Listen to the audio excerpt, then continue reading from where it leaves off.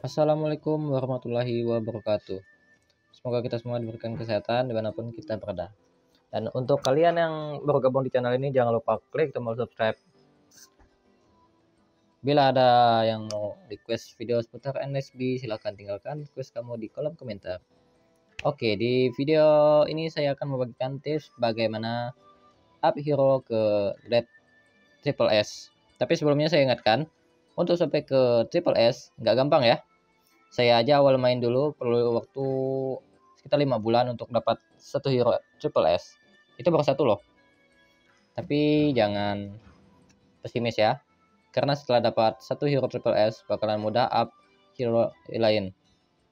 Oke tanpa basa-basi kita langsung ke tipsnya. Oke kita masuk ke menu shinobi. Shinobi list. Nah untuk tip pertama kalian harus konsisten up satu hero Pilih satu hero yang kalian suka dan pastinya hero itu sudah lengkap VR dan ultinya ya.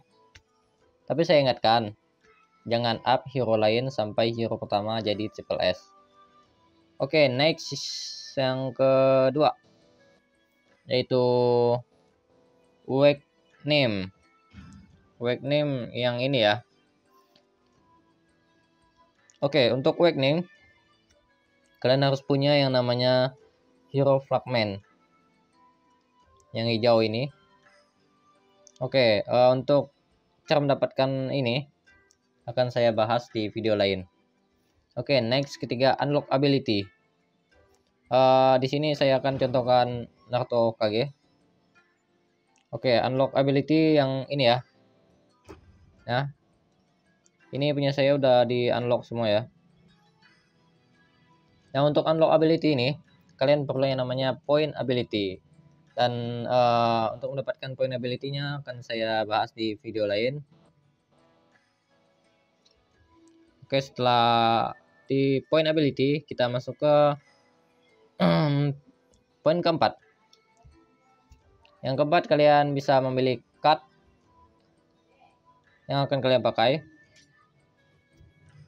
Oke, pilihlah card terbaik yang kalian punya.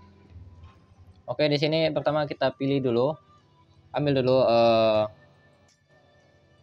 ulti dan jurusnya ya. Di sini saya pakai ini. Oke. Ini ya jurusnya dan ini ultinya. Oke, perhatikan di sini kalau dia uh, yang di pojok kiri bawah itu terang ya. Ada warnanya.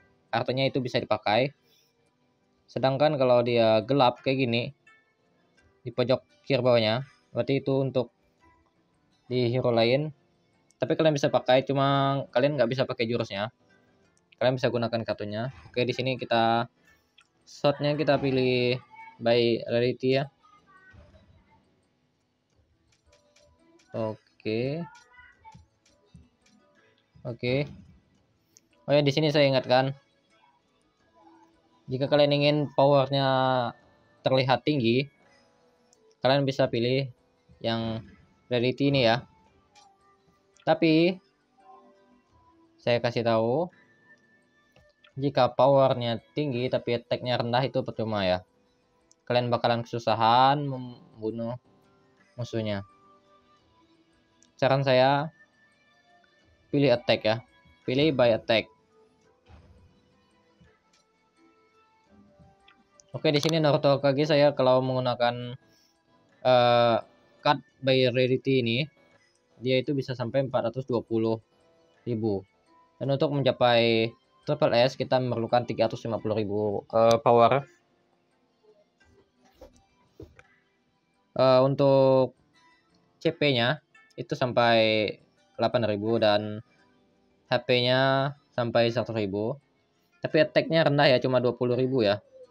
Tapi kalau saya pilih by attack, dia bisa sampai ke dua hampir 30 ribu. Oke di sini kita pilih uh, apa itu ya uh, toolsnya ya. Nah di sini sudah 400 ya. Oke next poin kelima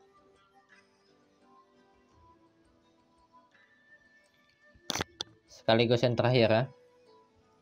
Uh, tips ini bis, cuma bisa kalian pakai saat kalian saat hero yang kalian punya itu sudah memungkinkan untuk di up ke bintang 7 yang ini ya. Oke bintang 7 oke caranya itu adalah kita link bot. Tapi link bot ini kita harus melakukan super name nah super name ini kita melakukan yang namanya hero game yang ini oke untuk tutorialnya akan saya bahas di video lain ya Uh, nah, kemudian jika kita sudah melakukan name, maka link botnya akan terbuka dan kita buka aja link botnya. Nah, untuk link bot ini terbagi jadi dua ya, part 1 dan part 2. Oke, di sini kita memerlukan material seperti Rio, Cakra, dan Point Ability. Dan kemudian yang paling susah untuk didapatkan itu adalah Key kunci. Nah, untuk membuka gembok ini kita memerlukan kunci. Bentar ya, saya pindah ke hero lain. Nah, ini terkunci semua ya. Nah, ini yang paling susah untuk didapatkan itu adalah kunci. Untuk mendapatkan kunci, bisa kita lakukan dengan summon ya biasanya tergantung sih tapi kalau untuk kalian summon di banner sum dan RM ya itu biasanya perlu 1500 Sinobite untuk mendapatkan 10 kunci itu baru 10 kunci loh sedangkan kita tahu Sinobite itu nggak mudah dapatnya tapi saya yakin kalian pasti bisa ya. Pesan terakhir buat kalian, jangan mudah menyerah, semua perlu waktu, tetap semangat. Oke. Sekian video dari saya. Wassalam.